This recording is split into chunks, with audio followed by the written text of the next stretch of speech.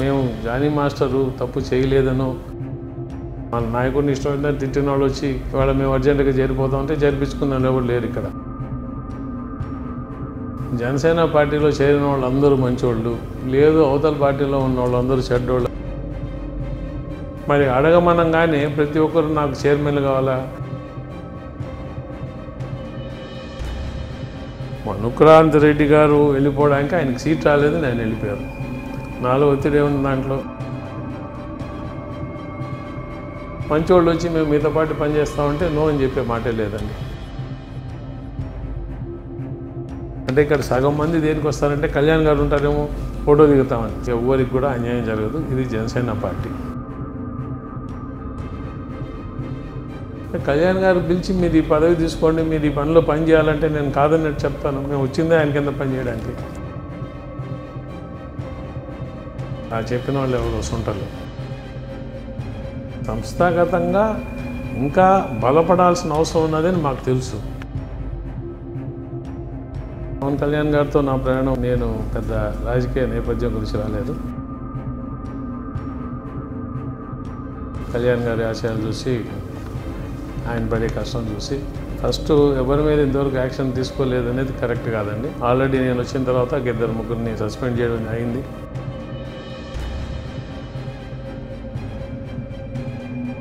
Sir నమస్కారం sir. Sir మీ రాజకీయ నేపథ్యం గురించి క్లుప్తంగా వివరిస్తారా? నమస్కారం అండి. నేను పెద్ద రాజకీయ నేపథ్యం గురించి రాలేదు. కళ్యాణ్ గారి ఆశయాలు చూసి ఆయన పడే కష్టం చూసి మనం కూడా ఒక మంచి వ్యక్తిని రాజకీయాల్లో ఆయన అంత కష్టపడుతుంటే కొంచెం చదువుకున్న వాళ్ళం కొంచెం ఎక్స్పీరియన్స్ ఉంది. మనం కూడా మనకున్న జ్ఞానాన్ని మనకున్న ఎక్స్పీరియన్స్ని కళ్యాణ్ గారికి తోడుగా నిలబడితే కళ్యాణ్ గారికి పార్టీకి ఏదైనా సాయం పడుతుందని చెప్పి వచ్చాము. అంతేగాని ఏది పెద్ద రాజకీయ నేపథ్యం ఏం లేదండి. సార్ పవన్ కళ్యాణ్ గారితో మీ ప్రయాణం ఎలాంటిది పవన్ కళ్యాణ్ గారితో నా ప్రయాణం బ్రహ్మాండంగా ఉందండి. చాలా అంటే నేను చేరిన రోజు నుంచి కూడా కళ్యాణ్ గారు మాకు బాధ్యతలు అప్పగించారు ఆ ఇచ్చిన బాధ్యతల్ని మేము జాగ్రత్తగా ఒక ఆయనకి ఎంత త్రికండ శుద్ధిగా చేస్తారు. మేము ఆయన చూసి ఆయనలాగా మేము కూడా చేయాలని చెప్పి ఆయనే మాకు ఒక ఎగ్జాంపుల్గా చేసుకొని చేసుకుంటూ వస్తున్నాం. సో కళ్యాణ్ గారికి ఎటువంటి బాధ్యతలు ఇచ్చినా అట్లా క్షేత్రస్థాయిలో పోయి పనిచేయడం అయితే లేదు. పార్టీలో ఒక నేషనల్ మీడియా స్పోక్స్ పర్సన్గా కానీ లేదు డిసిప్లినరీ కమిటీ చైర్మన్గా కానీ పార్టీ వ్యవహారాలు చూసుకుంటూ ఈ విధంగా ఏ పని అప్పు చెప్పినా కూడా పార్టీలో కళ్యాణ్ గారి నాయకత్వం కింద కళ్యాణ్ గారి అడుగుజాడల్లో ఆయనే మాకు మార్గదర్శిగా పనిచేసుకుంటూ వస్తున్నాం. కేవలం నాగబాబు గారితో మీకు ఉన్న స్నేహం వలన పార్టీలో ఉన్న స్థానం క్రమశిక్షణ కమిటీ చైర్మన్గా నియమితులయ్యారు. నాగబాబు గారితో నా స్నేహం వల్ల పార్టీలోకి రావడం మేబీ నిజమేమో కానీ దానివల్ల నన్ను పార్టీలో క్రమశిక్షణ చర్య దీనిగా చేశారనేది నేను కరెక్ట్ కాదు. ఎందుకంటే ఆ మాట అంటే మా నాయకుడి యొక్క ఆయన ఆలోచన విధాన్ని మేము కించపరిచిన వాళ్ళు అవుతాం. కళ్యాణ్ గారు ఎవరిని పార్టీలో తీసుకున్నా పార్టీలోకి ఒక బాధ్యత అప్పగించినా ఆయన అన్ని ఆలోచించి ఆయన పార్టీకి ఏది సముచితమైన నిర్ణయం ఎటువంటి వ్యక్తి ఏ పొజిషన్లో ఉండాలో అన్నీ బాగా ఆలోచించి తీసుకున్న నిర్ణయాలు కాబట్టి నన్ను అక్కడ పెట్టారంటే ఆయన ఖచ్చితంగా ఆలోచించి తీసుకున్నారు. దాన్ని నేను యాక్సెప్ట్ చేశాను. స్నేహితులకి రాజకీయాలకి కొంతవరకే ఉంటుందండి. సార్ ఇప్పటి వరకు పార్టీ ఎవరి మీద క్రమశిక్షణ చర్యలు తీసుకోలేదు. జానీ మాస్టర్ మీద క్రమశిక్షణ చర్యలు అంటూ లెటర్ రిలీజ్ చేశారు. సినీ ఇండస్ట్రీలో ఇలాంటి ఆరోపణలు సహజం అని అంటుంటారు. అలాంటిది ఆరోపణలు మాత్రమే వచ్చాయి. నేరం రుజువు కాలేదు. అటువంటి తరుణంలో ముందుగానే యాక్షన్ తీసుకోవడానికి గల కారణాలు ఏంటి? ఫస్ట్ ఎవరి మీద ఇంతవరకు యాక్షన్ తీసుకోలేదు అనేది కరెక్ట్ కాదండి. ఆల్రెడీ నేను వచ్చిన తర్వాత ఇద్దరు ముగ్గురిని సస్పెండ్ చేయడం అయింది కొంతమంది మీద పార్టీ కార్యక్రమాలకు దూరంగా ఉండడం చెప్పడం జరిగింది. అదేవిధంగా జానీ మాస్టర్ మీద ఆరోపణలు కొంచెం తీవ్రమైన ఆరోపణలు వచ్చి కేసు ఫైల్ అయింది కాబట్టి మేము జానీ మాస్టరు తప్పు చేయలేదనో చేశాడనో ఏది నిర్ధారణ చేయలేదు. ఎంతవరకు నిజ నిజాలు బయటకు వచ్చేంత వరకు పార్టీ కార్యక్రమాలకి కొంచెం దూరంగా ఉండండి అని మాత్రమే చెప్పాము కానీ సస్పెండ్ చేసామని కానీ సస్పెండ్ చేయలేదని కానీ అసలు ఏం మీరు కానీ ఆ లెటర్ చదివితే చాలా క్లారిటీగా మీ మీద ఇటువంటి ఆరోపణలు వచ్చి కేసు ఫైల్ అయింది కాబట్టి నిజ నిజాలు బయటకు వచ్చేంత వరకు పార్టీ కార్యక్రమాల నుంచి కొంచెం దూరంగా ఉండండి అని మాత్రమే డైరెక్షన్ ఇచ్చాం. సార్ పార్టీ పదవుల్లో ఉండి పార్టీని అవహేళనగా మాట్లాడుతున్న వారు కొందరు. పార్టీ పదవులను అడ్డం పెట్టుకుని దాదాగిరి చేస్తున్న వారు ఇంకొందరు. జన సైనికుల మీద కూడా దాడులు చేస్తూ ఇంకొందరు అలాంటి వారి మీద చర్యలు తీసుకుంటారా రాబోయే రోజుల్లో? ఖచ్చితంగా అండి. ఇంతకుముందు ఎట్టున్నది కానీ ఎలక్షన్స్ తర్వాత కళ్యాణ్ గారు పార్టీలో జరిగే ఏ విషయాన్నైనా కానీ క్షుణ్ణంగా పరిశీలించండి. మాకు ఇవాళ ఇప్పుడు మీరు కానీ చూశారంటే ఇక్కడ మొత్తం కంప్లైంట్లు కూర్చోవడం కంప్లైంట్ని వచ్చిన ప్రతి ఒక్క కంప్లైంట్ని మేము చూసి దాని వివరంగా దాని గురించి నోట్ చేసుకొని ఏం యాక్షన్ తీసుకోవాలా ఎటువంటి యాక్షన్ తీసుకోవాలా అని చేస్తున్నాం. సో పార్టీలో మున్ముందు క్రమశిక్షణ ఎవరైతే ఉల్లంఘించి ప్రవర్తిస్తారో కఠినమైన యాక్షన్లు తీసుకోవడం ఖచ్చితం. ఎవరైనా కానీ ఎంత పెద్ద వ్యక్తి అయినా కానీ పార్టీ నియమావళి దాటి పార్టీకి క్రమశిక్షణ ఉల్లంఘిస్తే చర్యలు ఖచ్చితంగా ఉంటాయి. వైసీపీ పార్టీ అధికారంలో ఉండగా ఎవరైతే జన సైనికుల్ని ఒత్తిడి చేశారో ఇప్పుడు మళ్ళీ వారినే పార్టీలో జాయిన్ చేసుకుంటున్నారని జన సైనికులు ఆందోళన చెందుతున్నారు. దాని మీద మీ అభిప్రాయం ఏంటి? క్షేత్రస్థాయి వైసీపీ కార్యకర్తలను కూడా జనసేన పార్టీలో చేర్చుకునే అవకాశాలు ఉన్నాయి? నేను ఒక మాట చెప్పదలుచుకున్నా అండి. జనసేన పార్టీలో చేరిన వాళ్ళందరూ మంచివాళ్ళు లేదు అవతల పార్టీలో ఉన్న వాళ్ళందరూ చెడ్డోళ్ళు అని మేము అనుకోం.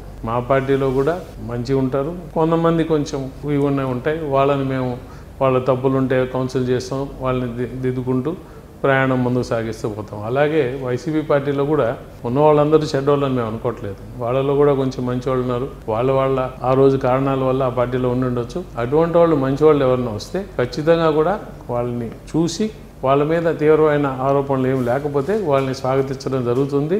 మన పార్టీని బలోపేతం చేసుకోవాలంటే ఖచ్చితంగా కూడా మంచోళ్ళు వచ్చి మేము మీతో పాటు పనిచేస్తామంటే నో అని చెప్పే మాటే లేదండి. సో క్షేత్రస్థాయిగా వర్కర్ కానీ లేదు పెద్ద నాయకుడు కానీ వాళ్ళ యొక్క గత చరిత్ర చూడాలా? వాళ్ళు ఎటువంటి చర్యలు చేశారు? మన పార్టీతో వాళ్ళకి ఏ విధంగా మాట్లాడినారు? ఇవన్నీ కూడా చూస్తున్నాం. మన నాయకుడిని ఇష్టమైన తిట్టిన వాళ్ళు వచ్చి వాళ్ళ మేము అర్జెంటుగా చేరిపోతాం అంటే చేర్పించుకున్న ఎవరు లేరు ఇక్కడ. కానీ ఒక హుందాగా ప్రవర్తించి రాజకీయంలో రాజకీయాన్ని రాజకీయంగా చూసి అటువంటి నాయకులు ఉంటే ఖచ్చితంగా కూడా వాళ్ళు వచ్చి పని చేస్తాం అంటే మేము స్వాగతిస్తాం. పదేళ్ళ పాటు పొత్తు కొనసాగుతుందని పవన్ కళ్యాణ్ గారు స్పష్టం చేశారు. స్పష్టం చేసిన ధర్మంలో నూతన చేరికల వల్ల భవిష్యత్తులో సీట్ల కేటాయింపు విషయంలో ఏమైనా గందరగోళ పరిస్థితులు నెలకొనే అవకాశాలు ఏమంటారు ఇవాళ మనం పొత్తు హండ్రెడ్ డేస్ నేను కంప్లీట్ అయిందండి.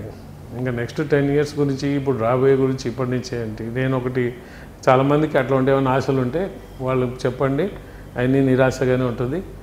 పవన్ కళ్యాణ్ గారు చంద్రబాబు గారు వాళ్ళిద్దరి మధ్య బ్రహ్మాండమైన ఒడంబడిక ఉంది బాగా వాళ్ళు మాట్లాడుకొని పరస్పరంగా అన్నీ చర్చించుకొని చేస్తున్నారు. సో మా దృష్టిలో మేము అనుకున్నట్టు రాబోయే పది సంవత్సరాలు కూడా ఈ కూటమి చాలా గట్టిగా కలిసి పనిచేస్తాం. ఈ కూటమే నెక్స్ట్ టెన్ ఇయర్స్ ఈ స్టేట్ని మంచి మార్గం తట్టు మంచి పరిపాలన తట్టు రాబోయే సువర్ణ రోజుల కోసం ఈ కూటమి పనిచేస్తుంది. సార్ జనసేన పార్టీ స్థాపించినప్పటి నుంచి రాళ్ళబాట నుండి పూలబాట వరకు పవన్ కళ్యాణ్ గారితో ప్రయాణం చేస్తున్న ఎంతో మంది జన సైనికులు తమకు సముచిత స్థానం దక్కడం లేదని గేటు దగ్గర ఆపేస్తున్నారని ఆవేదన చెందుతున్నారు. మరి అలాంటి వారికి పరిష్కారం ఏమైనా చూపగలుగుతున్నారా? ఈ పార్టీలో అండి మనకు ఒక నైజం ఉంది. ఎవరినైనా ప్రశ్నిస్తామని చెప్పి. రెండోది జన సైనికుల యొక్క నైజమే ఏంటంటే చిన్న ఇదైనా కానీ ప్రశ్నిస్తామని. మనం పార్టీ ఆఫీస్ గేట్ దగ్గర ఆపుతారంటే దానికి ఒక పద్ధతి ఉంటుంది. మీరు పార్టీ ఆఫీస్కి రావాలంటే ఒక ముందర టైం తీసుకోండి. ఎవరిని కలవడానికో చెప్పండి. దేనికి వస్తున్నారో చెప్పండి. దాని ప్రకారం ముందరనే అక్కడ చెప్పెడతారు దాని ప్రకారం లోపలికి రండి. మేము వచ్చేస్తాము మా ఇష్టం లోపల వస్తాం. అంటే ఇక్కడ సగం మంది దేనికి వస్తారంటే కళ్యాణ్ గారు ఉంటారేమో ఫోటో దిగుతామని. సో మా బాధలు మాకున్నాయి. సో ఖచ్చితంగా కూడా ఒక సిస్టమేటిక్గా నడుస్తున్నది. క్షేత్ర స్థాయిలో ఎవరైతే పార్టీలో మొదటి నుంచి ఉన్నారో వాళ్ళందరినీ కూడా గుర్తు చే గుర్తుంచుకోవడం సముచిత స్థానాలు ఇవ్వడం కళ్యాణ్ గారికి అందరికన్నా ముఖ్యమైన అవసరం ఆయన చేస్తారండి ఈ పని. కళ్యాణ్ గారు ఖచ్చితంగా కూడా ప్రతి ఒక్కరిని గుర్తుపెట్టుకున్నారు. ఎవ్వరికి కూడా అన్యాయం జరగదు. ఇది Janasena party. Okay. Janasena party hundred percent strike rate వెనకాల జనసైనికుల కృషి మరవలేనిది. రాబోయే నామినేటెడ్ పదవుల్లో రాళ్ళబాట నుండి పోళ్ళబాట వరకు పవన్ కళ్యాణ్ గారితో ప్రయాణం చేసిన జన సైనికులకి స్థానం కల్పించబోతున్నారా? Instant కాపీలాగా instant నాయకులకే కల్పించబోతున్నారా? ఖచ్చితంగా అండి. ఎవరైతే పార్టీలో మొదటి రోజు నుంచి ఉన్నారో ఎవరైతే జెండా మోస్తూ వచ్చారో వాళ్ళందరికీ కూడా ఇప్పుడు కళ్యాణ్ గారు మొన్న అన్నారు మీరందరూ మీకు ఏం కావాలో అడగండి నేను వీలైనంత వరకు సాయం చేస్తాను మరి అడగమనంగానే ప్రతి ఒక్కరు నాకు చైర్మన్లు కావాలా? నవ్వుతూ అన్నా కూడా నిజం ఏంటంటే ఒక ఐదుగురు టీటీ బోర్డు చైర్మన్లు. అక్కడ ఉండేది ఒకటే బోర్డు చైర్మన్ పదవి.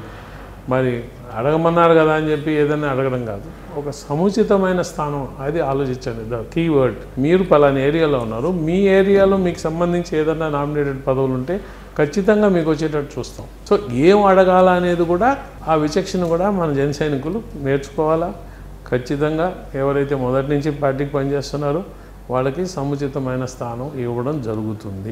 ఆ ప్రక్రియ ప్రస్తుతానికి నడుస్తున్నది. జనసేన పార్టీ సభ్యత్వాలు చేస్తున్నప్పుడు కేవలం ఒక్క నెల్లూరు జిల్లా సభ్యత్వాలు చేసిన వాలంటీర్లకు వంద సభ్యత్వాలు చేసిన వారికి రివార్డు ప్రకటించారు. ఎందుకని నెల్లూరు జిల్లాకి మాత్రమే ఆ ప్రత్యేకత? మిగిలిన నియోజకవర్గాల్లో సొంత డబ్బు ఖర్చు పెట్టుకుని సభ్యత్వాలు చేసిన జన సైనికులు చాలామంది ఉన్నారు. అలాంటి వారికి పార్టీ నుంచి గుర్తింపు దక్కలేదు అంటున్నారు. అలాంటి వారికి సముచిత స్థానం కల్పిస్తారా? నెల్లూరు జిల్లాలో మాకు చాలా వీక్గా ఉన్నామండి మేము. మీరు తూర్పుగోదావరి జిల్లాలో లేకపోతే ఈ ఉత్తరాంధ్ర జిల్లాలో కంపేర్ చేసుకుంటే పోయినసారి నెల్లూరు జిల్లా నుంచి తొమ్మిది వేల తొమ్మిది వందల యాభై నాలుగు సభ్యత్వాలు మాత్రమే జరిగాయి. అంటే మనకు మొత్తం సుమారు ఆరు లక్షల సభ్యత్వాల్లో మాది తొమ్మిది వేల చిల్లర మాత్రమే ఉంది. సో ఈ సంవత్సరం సభ్యత్వాలు బాగా నమోదు చేసుకోవాలా? ఓట్లు ఉన్నాయి మాకు ప్రజల్లో సపోర్ట్ ఉంది. కానీ అక్కడ ప్రాపర్ నాయకత్వం లేక సభ్యత్వాల నమోదు కార్యక్రమాలు కూడా వెనకబడితే ఈసారి ఏమనుకున్నామంటే కొంచెం సభ్యత్వ కార్యక్రమాలు జోరుగా చేయాలా? చేసిన వాళ్ళని ఎంకరేజ్ చేయాలా? ఏదో ఇప్పుడు మా దగ్గర ఏంటంటే ఒకరో ఇద్దరు ముగ్గురు కూర్చొని సభ్యత్వాలు ఇంతకుముందు పరిస్థితి ఏంటంటే సభ్యత్వం చేయడానికి ఎవరికో ఒకరికో ఇద్దరికో లింకులు ఇవ్వడము వాళ్ళే చేయడము నడుస్తుండేది. ఈసారి అట్ట కాకుండా నియోజకవర్గానికి ఇరవై కాదు ముప్పై కాదు నలభై మంది చేస్తామన్నా కూడా నలభై మందికి లింకులు ఇస్తాం అనుకున్నాం. అలాగే ఎవరైతే కష్టపడి మాకు తెలుసు ఒక ఇరవై సభ్యత్వాలు చేయడం అనేది ఎంత కష్టమో పొయ్యి ఐదు వందల రూపాయలు ఒక మనిషి చేత కట్టించి సభ్యత్వం చేయించడం అంటే అది నిజంగా కూడా ఒక వాలంటీర్ చాలా కష్టమైన పని చేసింది. అటువంటిది ఒక వంద సభ్యత్వాలు చేస్తున్నారు అని చెప్పి వచ్చినప్పుడు మేము ఒక డిసిషన్ తీసుకున్నాం. అటువంటి వాళ్ళని మనం ప్రోత్సహించి వాళ్ళ వల్ల ఇంకో కొన్ని చేయగలిగితే ఇంకా బాగుంటుంది అని చెప్పి. అది లోకల్ లెవెల్లో మా జిల్లా లెవెల్లో తీసుకునే నిర్ణయం కానీ అది పార్టీ నిర్ణయం కాదు. సో ఆ జిల్లాలో చేశారు కాబట్టి మిగిలిన అన్ని జిల్లాలో ఎందుకు చేయలేదంటే దానికి అర్థం లేదు. ఆ పర్టికులర్ జిల్లాలో ఆ జిల్లా నాయకత్వం తీసుకున్న యొక్క డిసిషను ఆ జిల్లా నాయకత్వం దాన్ని ఆ డిసిషన్ తీసుకొని అమలు చేసింది.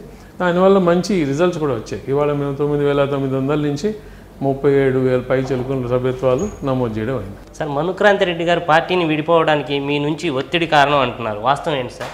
మనుక్రాంత్ రెడ్డి గారు వెళ్ళిపోవడానికి ఆయనకి సీట్ రాలేదు నేను వెళ్ళిపోయారు నాలో ఒత్తిడి ఏముంది దాంట్లో? సీట్ నా ఇప్పుడు కళ్యాణ్ గారు ఎవరికి సీట్ ఇవ్వాలా ఎవరికి సీట్ ఇవ్వద్దు అనేది ఆ రోజు యొక్క పరిస్థితులు బట్టి మనం ఏదైతే కూటమిలో ఉన్నామో ఆ కూటమిలో ఎవరికి సీట్ ఇవ్వచ్చు ఎవరికి సీట్ ఇవ్వకూడదు అనే లోకల్ పరిస్థితులు బట్టి అన్నీ డిసైడ్ చేసుకొని వాళ్ళు కలిసి నిర్ణయించుకొని హైయెస్ట్ లెవెల్లో నిర్ణయించుకుంది. మనుక్రాంత్ రెడ్డి అనే వ్యక్తి నెల్లూరు నియోజకవర్గం సిటీ నియోజకవర్గాన్ని సీట్ ఆదిచ్చారు. అక్కడ నెల్లూరు సిటీ నుంచి నారాయణ గారు ఆశించారు. మరి మీరే ఆలోచించుకోండి సీట్ ఎవరికి వస్తుందో. ఆయన ఇవాళ నారాయణ గారు one of the biggest leader of Telugu Desam. ఆయన ఆశించిన సీటుని మనుక్రాంత్ ఆశించి ఆయనకు రాకపోతే అలిగి వైసీపీపై చేరాడు. ఎవరు ఒత్తిడం కాదు ఆయన యొక్క పర్సనల్ అంబిషనే కారణం. ఇంకేం లేదు. పిఠాపురం నియోజకవర్గం గోకువాడ గ్రామంలో ఇరు వర్గాలకు సంబంధించిన వివాదం మురికినీటి ప్రవాహం సమస్య. తీవ్ర స్థాయిలో ఉన్నప్పుడు మీరు క్షేత్రస్థాయిలో పరిశీలన చేసి ఉన్నారు. ఆ సమస్య నేటి వరకు పరిష్కారం లేదు రాలేదు. దీనిపై మీ స్పందన ఏంటి సార్? పరిష్కారం చేసామండి గోడ పగలగొట్టేసాము నీళ్ళన్నీ తీసేసాం ఆ మురికి నీళ్ళన్నీ తీసి మొత్తం దాన్ని అంతా మనం మున్సిపాలిటీ వాళ్ళ చేత క్లీన్ చేయించడం యాంటీసెప్టిక్ ఇవన్నీ కూడా చేయించడం అన్నీ జరిగింది. మళ్ళా కూడా అతను ఇది నా ల్యాండు నా మీరెవరు అని చెప్పి కట్టుకుంటే మొన్ననే నేను కలెక్టర్ గారికి రిప్రజెంటేషన్ ఇప్పించి ఈ డిజాస్టర్ మేనేజ్మెంట్ యాక్ట్ కింద తీసుకొని ముందర దాని కింద పోయేటట్టు చేయండి అంటే కలెక్టర్ గారు నేను సర్వేకి పంపిస్తున్నాను ఆడియో గారిని మళ్ళీ పంపిస్తాను ఎట్లా పర్మనెంట్ సొల్యూషన్ చేస్తామని చెప్పి చేస్తున్నారు. అతను మళ్ళీ గోడ కట్టినందువల్ల కొంచెం నీళ్ళు వచ్చాయి నాకు ఆ రిప్రజెంటేషన్ రాగానే మళ్ళీ కలెక్టర్ గారికి నేనే మాట్లాడాను. సో ఇవన్నీ జరుగుతున్నాయి. ఇక్కడ ఏంటంటే ఆ వైసీపీ ప్రభుత్వంలో అడ్డంగా చేసిన పనులని ఇవాళ మనం వాటిని అంతా తొలగించుకుంటూ ప్రజలకు ఇబ్బంది లేకుండా చేసే పని ఉంది. ఖచ్చితంగా గోకివాడ అక్కడ పర్మనెంట్గా సొల్యూషన్ వచ్చేటట్టు చేసేంత వరకు నేనైతే గమ్ముకుండాను సార్ క్షేత్రస్థాయిలో కూడా మీరు ఉత్సాహంగా ఉన్నారని పలుమార్లు నిరూపించుకున్నారు. క్షేత్రస్థాయి రాజకీయాల్లో పాల్గొని మునుముందు ప్రత్యక్ష ఎన్నికల్లో పోటీ చేసే అవకాశం ఉందా? లేక పార్టీకి మీరు చేసిన సేవలను దృష్టిలో పెట్టుకుని నామినేటెడ్ పదవి కట్టబెట్టే అవకాశం ఉంది? నాకు ఎలక్ట్రల్ పాలిటిక్స్ మీద ఇష్టం లేదండి. నేను ఎప్పుడు ఎలక్షన్స్లో పార్టిసిపేట్ చేయను. మేము రాజకీయాల్లోకి వచ్చామంటే కళ్యాణ్ గారు చేసే ఒక మంచి వర్క్ చూసి ఆయన పడ్డ కష్టాలు చూసి అయ్యో అంత మంచి వ్యక్తి మాకు ఆయన గురించి బాగా తెలుసు. కళ్యాణ్ గారు ఒక్కడే ఎందుకు కష్టపడాలా? మనం కూడా మన చేత అయినందుకు ఆయనకి అండగా నిలబడతామని వచ్చాం. కానీ ఏ పదవి ఆశించో లేకపోతే రేపేదో ఎలక్షన్స్లో కంటెస్ట్ చేయాలని కాదు. అండ్ ఎలక్షన్స్లో కంటెస్ట్ చేసే ఆశ లేదు ఆ ఇంటెన్షన్ లేదు. ఇకపోతే నామినేటెడ్ పదవి మేమైతే ఎక్కడ నామినేటెడ్ పదవి అడగలేదు ఇంతవరకు కోరలేదు కళ్యాణ్ గారు మాకు ఏ బాధ్యత అప్పచెప్పినా చేయడానికి సిద్ధంగా ఉన్నాం. పదవి ఇస్తే తీసుకుంటారా సార్? నామినేటెడ్ పోస్ట్ కళ్యాణ్ గారు పిలిచి మీరు ఈ పదవి తీసుకోండి మీరు ఈ పనిలో పని చేయాలంటే నేను కాదన్నట్టు చెప్తాను. మేము వచ్చిందే ఆయన కింద పని చేయడానికి. సార్ చివరిగా ఒక ప్రశ్న. జనసేన పార్టీ సంస్థాగతంగా శూన్యం. కేవలం పవన్ కళ్యాణ్ గారి వ్యక్తిగత ఇమేజ్ మీద నడుస్తున్నటువంటి పార్టీ అని ఒక వాదన బలంగా ఉంది. దానికి మీరు ఇచ్చే సమాధానం ఏంటి సార్? సరే ఈ శూన్యం అన్న మాటకి ఆ చెప్పిన వాళ్ళు ఎవరు వస్తుంటారు? ఓకే? ఎందుకు లేదండి మాకు సంస్థాగతంగా సంస్థాగతంగా లేకుండా ఉంటే పార్టీ ఉంటుందా? మీకు ఎలక్షన్ కమిషన్లో if you have to get recognition మాకు పార్టీగా పొలిటికల్ పార్టీగా రిజిస్టర్ అయినప్పుడు సంస్థాగతంగా మొత్తం ఆర్గనైజేషన్ ఇన్ఛార్జ్ వేసేయాలి అయితే సంస్థాగతంగా ఇంకా బలపడాల్సిన అవసరం ఉన్నదని మాకు తెలుసు. మాకు అంతా పక్కాగా ఉందని అంటలా. సంస్థాగతంగా మేము ఇంకా బలపడాలా? చాలా చేసేది ఉంది ఆ దృష్టిలో. వాటిని మేము ఖచ్చితంగా కూడా మనసులో పెట్టుకొని ఈ రాబోయే మూడు నాలుగు నెలల్లో మీరు చూస్తారు. మేము చాలా కూడా సంస్థాగత రీఆర్గనైజేషన్ పునర్వ్యవస్థీకరణ. దాని మీద అందరం దృష్టి పెడతాం. కళ్యాణ్ గారు ఒకసారి మీరు గో హెడ్ అని చెప్తే నాయకులందరూ కలిసి పార్టీని ఒక రకంగా పునర్వ్యవస్థీకరణ చేసుకొని మంచి పటిష్టమైన నిర్మాణం చేసుకొని రాబోయే ముప్పై సంవత్సరాలకు పార్టీ గట్టిగా ఉండేటట్టుగా చేస్తాం. Sir thank you sir. Me busy షెడ్యూల్లో మా మెగా బాక్స్ ఆఫీస్కి కొంత సమయం కేటాయించినందుకు మీకు మెగా బాక్స్ ఆఫీస్ తరఫున కృతజ్ఞతలు సార్. థ్యాంక్ యూ నమస్తే.